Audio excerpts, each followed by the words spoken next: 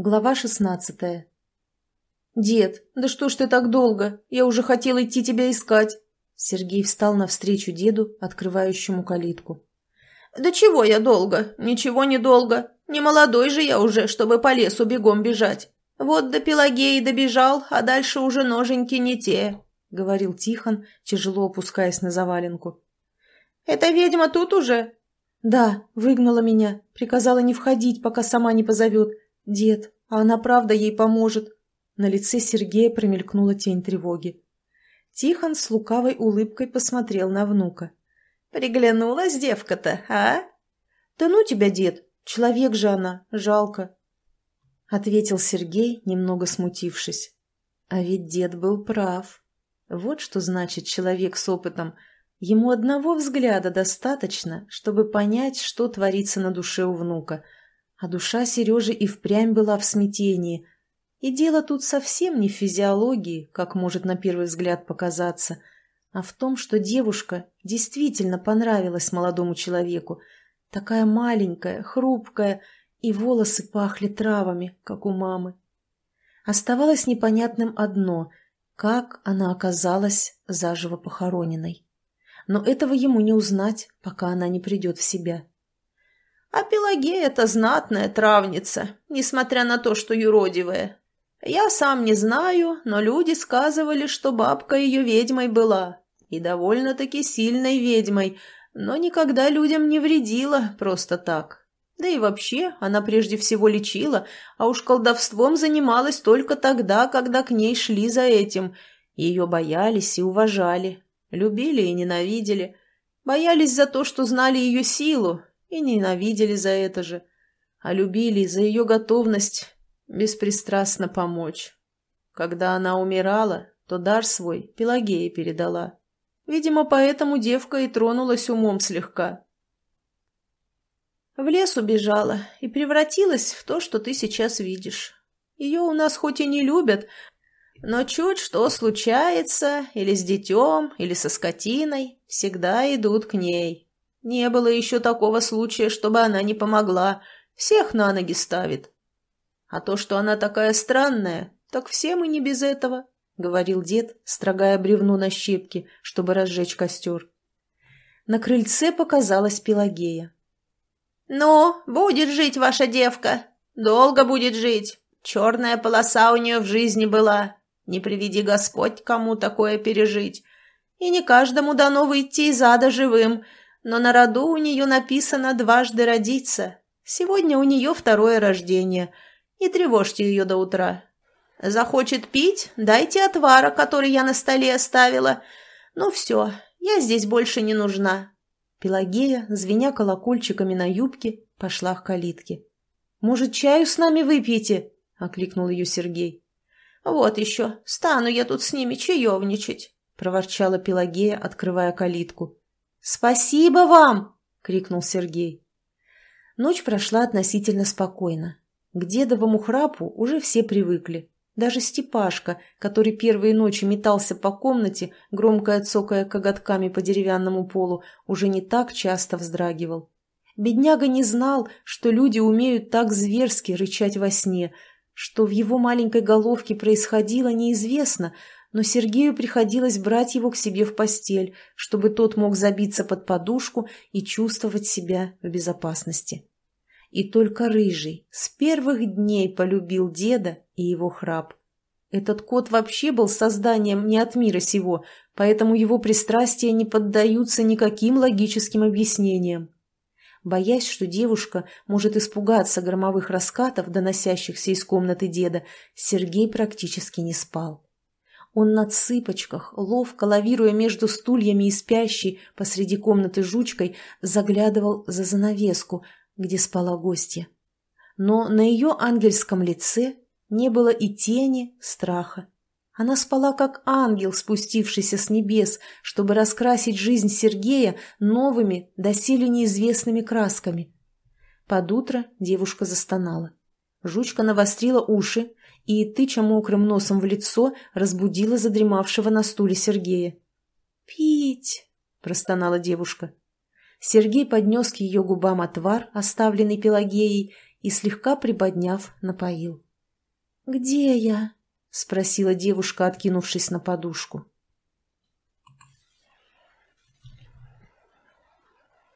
Глава 17.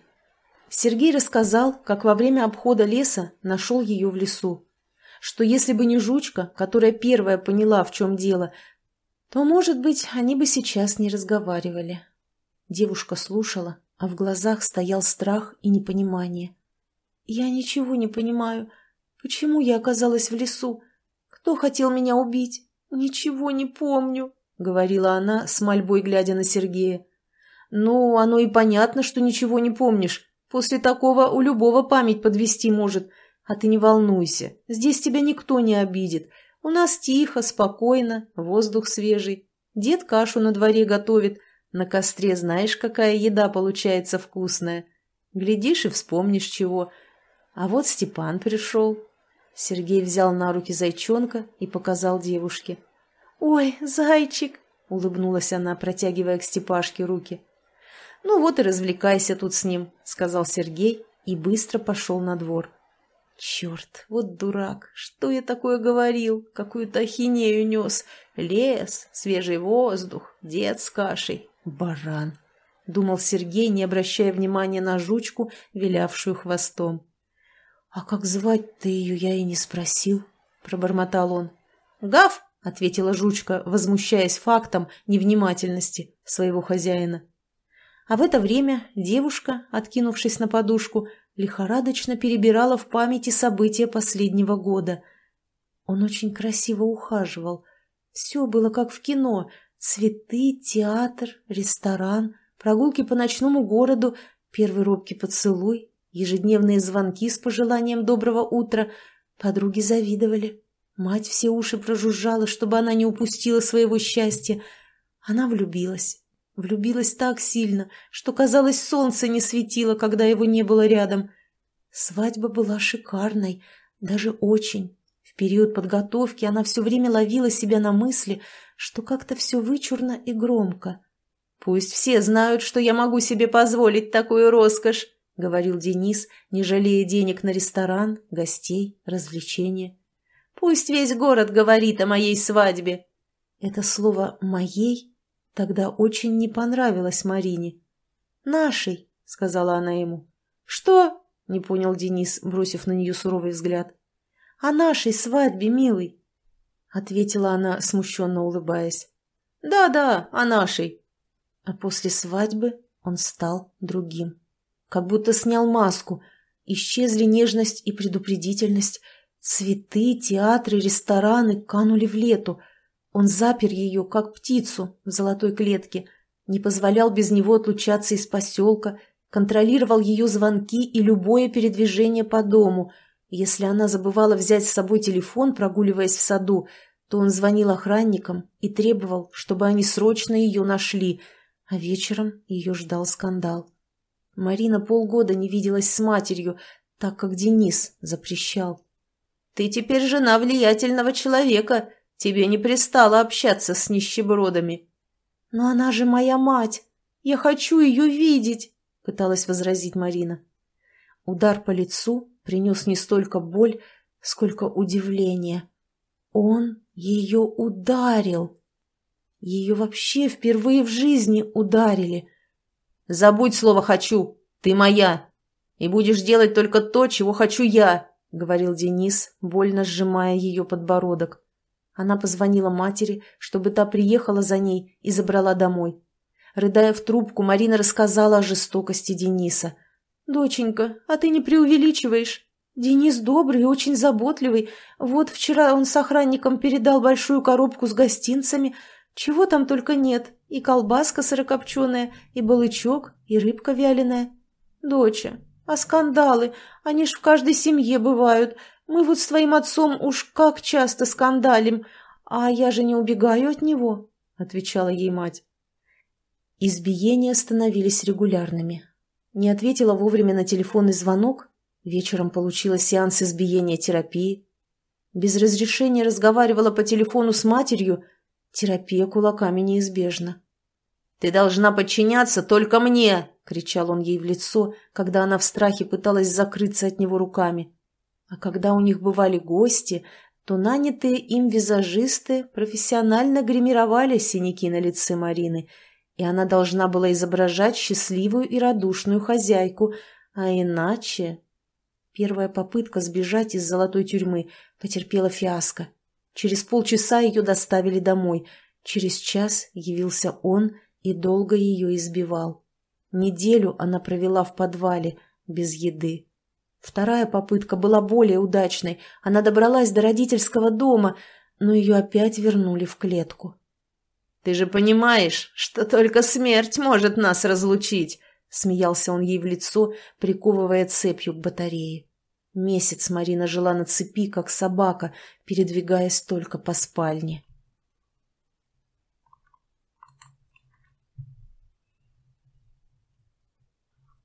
Глава восемнадцатая.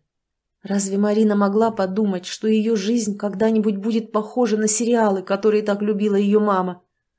«Ты смотри, какой гад!» – комментировала ее мать моменты, где герой издевается над своей женой. «Да его убить за это надо, и она, овца безответная, терпит это. Давно бы ушла от него». И Марина была согласна с мамой. Она тоже думала, что терпеть такое над собой унижение могут только недалекого ума женщины – она так думала, но даже в страшном сне не могла представить, что сама может оказаться в такой ситуации. Девушка не знала, что сериалы иногда случаются и в жизни, а все те советы, которые очень легко и умно давать со стороны, иногда не работают. И дело здесь не в том, что у кого-то там недостаток ума, а в том, что клетка иногда имеет очень надежные замки. Денис, собираясь в недельную командировку, приказал охранникам не спускать глаз с Марины. «Не дай бог я узнаю, что она выходила за пределы поселка.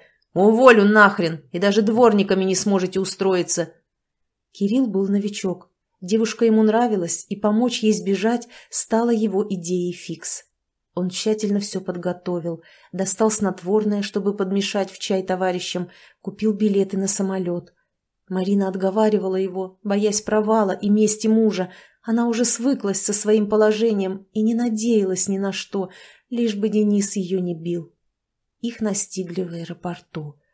Наверное, снотворное было не таким уж и сильным. До приезда Дениса Марину держали в спальне, на цепи.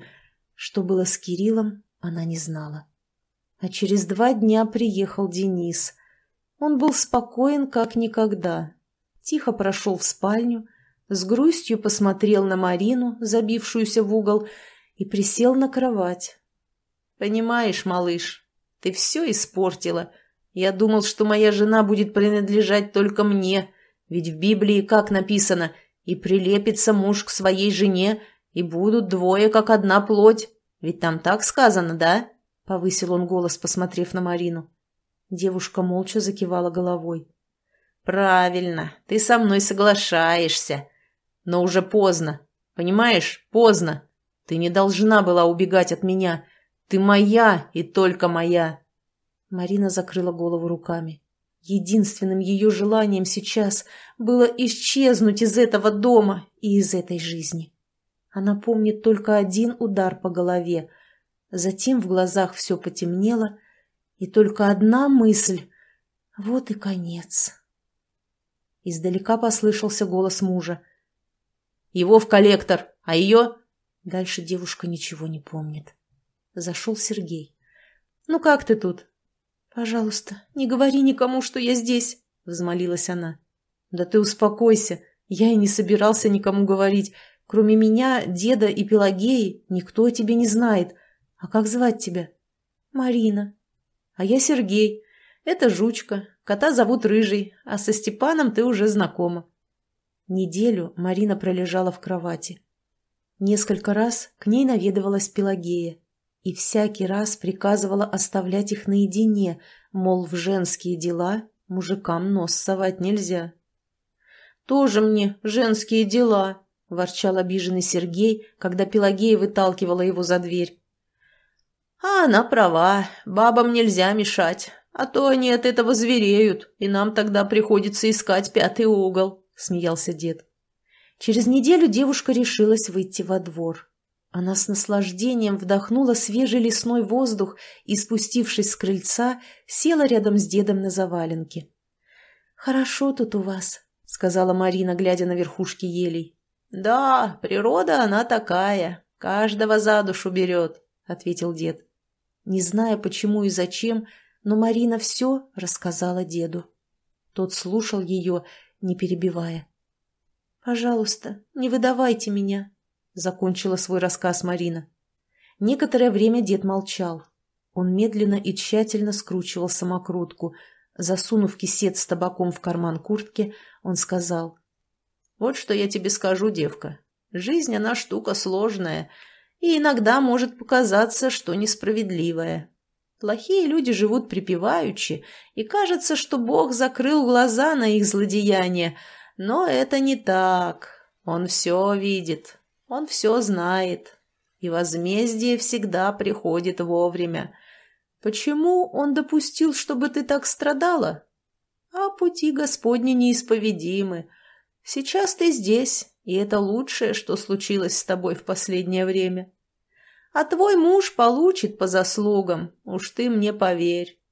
Марина обняла деда и тихо заплакала. Глава девятнадцатая. Так в лесной избушке народу прибавилось.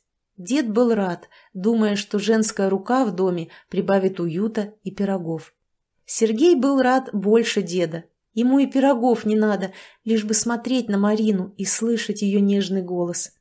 Жучка была рада любой движухе. Она вообще была собакой, сотканной из радости. Такой уж у нее был характер. Степашка был рад просто потому, что он же маленький, а маленькие всегда рады посидеть на руках. Ну, а рыжий... А рыжий просто был, потому что хозяева положения не выказывают своей радости, если таковая имеется, а взирают на все с высоты прожитых лет. Как оказалось, Марина совершенно не умела печь пироги, о которых так мечтал дед, да и где бы она умела их печь, если в родительском доме мама не любила выпечку, а в замужестве до пирогов ли было? Вот же елки зеленые, ну как же это, баба в доме, а без пирогов? Сокрушался дед, обращаясь к рыжему. Кот с неодобрением посмотрел на окно кухни, за которым Марина пыталась приготовить обед, состоящий из макарон с сыром.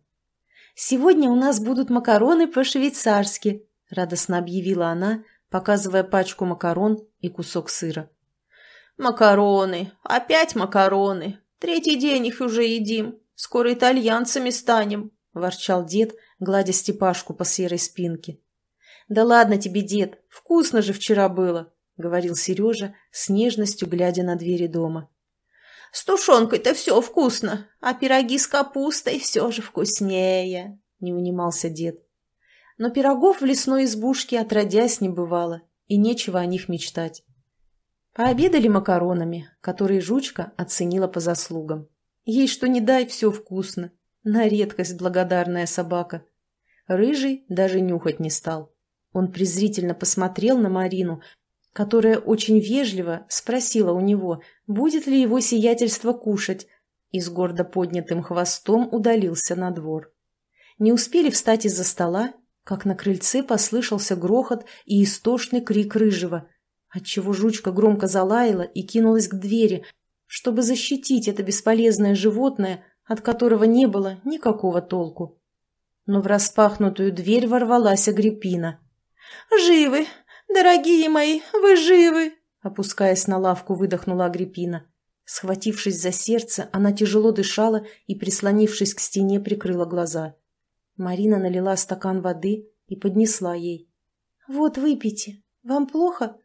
Агриппина покачала головой и с жадностью осушила стакан. Дед с Сережей переглянулись, не понимая, что имела в виду Агриппина. Их жизни ничего не угрожало, поэтому они не понимали, почему не должны быть живы. «Тетя, а что случилось?» — спросил Сергей, когда Агриппина отдышалась. «Ох, что сегодня было, что было! Прям целый детектив! Приехали какие-то молодцы, все на быков похожие, такие же здоровые и с тупыми глазами. Ворвались в сельсовет, напугали секретаршу Машку, которая кричала не своим голосом, что она сейчас вызовет милицию, а они требовали председателя, а Михалыч с самого утра на поля укатил, ищи ветра в поле. Потом из машины вылез такой мужчина, ах, какой мужчина, на Алена Делона похож. Он подошел к Машке, приятно ей улыбнулся, отчего она прямо обмякла вся, и только было он раскрыл рот, чтобы спросить что-то, как со всех сторон понаехали еще машины, и как начали стрелять. «Ой, мамочки родные, что было, что было?» Машка кричит, баба Клава кричит, петухи кричат, а эти стреляют. В общем, быстро они справились. Быков этих всех перестреляли, и Делону тоже башку разнесли к чертовой матери. Эх, такой мужчина красивый, а пожил совсем ничего, рассказывала Агриппина. Во время ее рассказа Марина была белее занавесок, висящих на окнах. «А вы точно знаете, что того мужчину убили?» — еле слышно спросила она. «Да как же не точно, если участковый наш, прибежав на перестрелку, аж за голову схватился, подошел к тому красавцу, посмотрел на него и в сердцах выругался, потом начал Машку допрашивать, а у той истерика, в скорую ее забрали, может, в психушку отвезут». Давно пора, а то больно нервная она. От всего услышанного Марине стало плохо, и она прямо посреди комнаты упала в обморок. Глава двадцатая. «А что это за девица у вас живет?» — спросила Агриппина, глядя, как племянник пытается привести в чувство Марину. «Да так, заблудилась в лесу. Серега ее и привел к нам», — ответил дед. Агриппина с недоверием покосилась на девушку. Что за сказки они ей рассказывают? Чай не в среднем веке живем. Связь какая-никакая, имеется. Заблудилась. Как заблудилась, так и разблудиться могла, если бы пришла в деревню. Что-то тут нечисто. Не договаривают они что-то, думала Агриппина, поджав губы. «Ну ладно, приводите тут в чувство вашу заблудившуюся, а мне не досуг тут лясы точить. У меня куры без присмотра, и корову скоро с поля пригонят». Она еще раз посмотрела на Марину, хмыкнула и ушла. «Дед, а ведь она в обморок-то не зря упала», — сказал Сергей, глядя на приходящую в себя девушку. «Известное дело не зря. Мужика это ее прибили, изверга проклятого. Настигла его кара Господня» «И по делам душегубу», — ответил дед. Девушка пришла в себя и со страхом посмотрела на Сергея. «Это он меня искал, понимаешь, меня. Он, наверное, увидел могилу разрытую и хотел убить». Марина вся задрожала и заплакала, громко всхлипывая. «Ну ты чего? Все же кончилось хорошо. Он тебя не нашел и уже никогда не найдет», — успокаивал Сергей девушку, обнимая за плечи. Да, его только теперь суд Божий найдет, на котором ему придется держать ответ. А потом гореть ему в адовом пламени вечность, — говорил дед. «Гав!» — тявкнула жучка, не понимая, что вокруг происходит. Сидевший на шкафу рыжий прикрыл глаза и погрузился в кошачью нирвану, отрешившись от этой непонятной суеты. Через несколько дней в лесную избушку пришел участковый. Агриппина не выдержала и доложила куда следует о заблудившейся девушке. А за неделю до этого с области была прислана ориентировка о пропаже девушки с прилагающимся фото.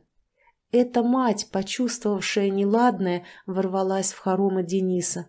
Не обнаружив дочь в доме и не получив от зятя внятных объяснений, устроила в милиции скандал. Дабы избежать проблем, заявление у нее приняли и для приличия разослали по районам фото девушки. Дениса, конечно, допросили, но он со спокойным видом пояснил, что его молодая жена оказалась шалавой и сбежала с новым охранником в неизвестном направлении, и он знать о ней ничего не хочет, поэтому никаких заявлений подавать не стал. В отделении посмеялись и забыли про это дело. Сама найдется, и дело закроется. «Марина Валерьевна, а вы знаете, что вас ищут?» — спросил участковый, строго посмотрев на девушку. От официального тона и от сердитого вида участкового Марина заплакала и рассказала все, что так долго держала в себе. Участковый слушал и быстро записывал в блокнот.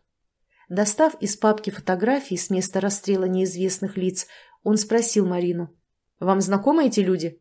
Взглянув на тело Дениса, голова которого была прострелена, она прижала руку к губам и тихо прошептала «Это он». А потом была обычная процедура опознания, протоколы, допросы, дознания. Больше месяца девушке приходилось ездить на всевозможные беседы со следователем, и по логике вещей она могла бы вернуться к матери или в дом Дениса, где была полноправной хозяйкой, но лесной домик, где она провела самые счастливые недели ее жизни после второго рождения, был ей милее. Она спешила вернуться туда, где ее ждали люди и звери, ставшие для нее родными. Спустя два месяца дело о перестрелке закрыли. Кто и почему убил известного бизнесмена Дениса Торопова, было неизвестно. А может быть и известно, но это уже не для посторонних ушей. И совсем не важно, чьими руками свершилось возмездие. Оно свершилось, и это главное.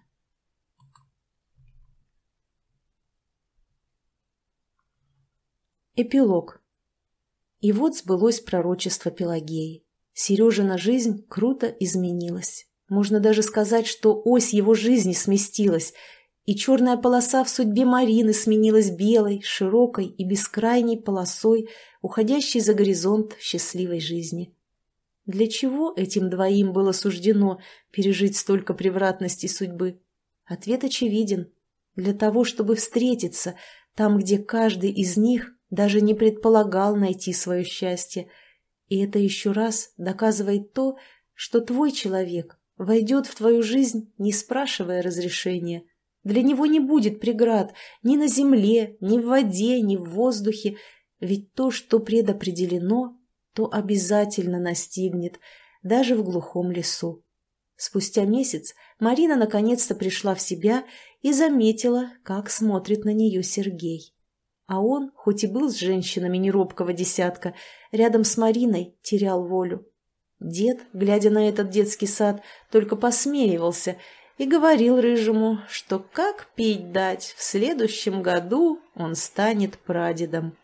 На что Рыжий презрительно морщился, издавал странный гортанный звук, который был похож на нецензурную брань, и уходил от деда на двор.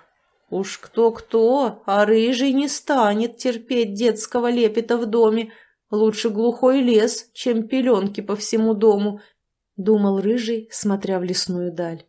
А жучка, предчувствуя перемены, радовалась и веселилась, не обращая внимания на косые взгляды кота. Один лишь Степашка поводил ушами, забавно шевеля носиком, нюхая морковку — Ему было все равно, сколько будет пеленок в доме, лишь бы рука, дающая капустный лист, не оскудела.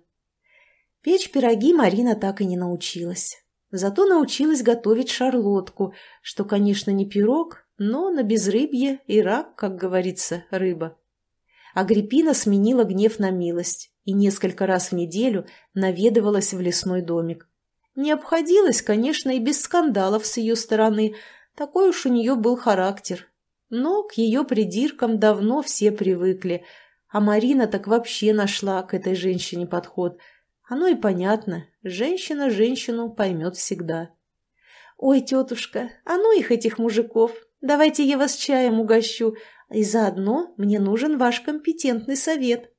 При слове «компетентный» Агриппина прямо расцветала вся и забывала, о чем хотела скандалить, за чашечкой чая она совсем добрела и уже через час была похожа на милейшей души человека. «На следующей неделе я принесу дрожжей, буду тебя учить пироги печь, а то дед, небось, всю плешь тебе с этими пирогами проел», подмигивала Агриппина Марине, собираясь домой. «Ах, тетушка, я вам буду так благодарна. Я и сама пироги до ужаса люблю, да вот дрожжевое тесто у меня не хочет получаться», — отвечала девушка, с нежностью поглядывая на Сергея. А потом была лесная свадьба. Осенний лес оделся в золотой наряд, набросав под ноги ковер из желтых листьев. Молодая жена шла по этому ковру с венком из кленовых листьев на голове, держась за руку молодого мужа. И не было в этот час никого счастливее, чем эти двое.